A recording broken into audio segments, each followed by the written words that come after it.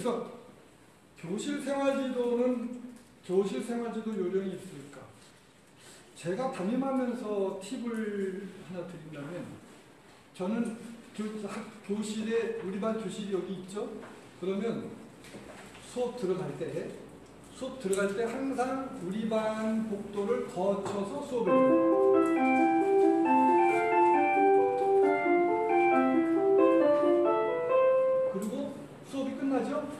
반드시 우리 반을 거쳐서 교무실로 가요. 그건 왜 그러냐? 그 담임은 늘 우리 곁에 있다. 이걸 잠재의식에 스며들게. 늘 어, 어, 어, 어, 어, 이렇게. 그리고 자 앞문과 뒷문이 있을 때 지나갈 때 애들을 뒷문에서 보는 게 좋을까요? 앞문에서 보는 게 좋을까요?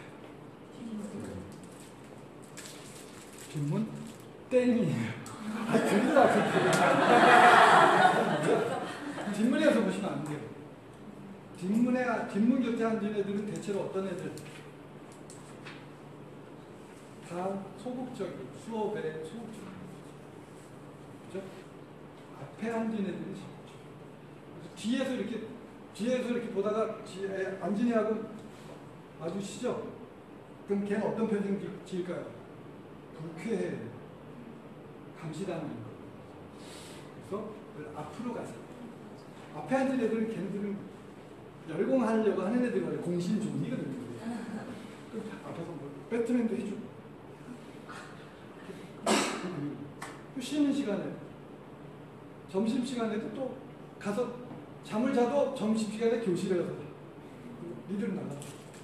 니들 콘크리트 벽에 왜 있냐? 점심 시간에 등나무 밑에 피톤 치드 다.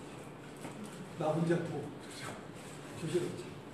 그래서 최고의 생활지도는 우리 담임은 늘 우리 곁에 있다. 가장 좋은 생활지도.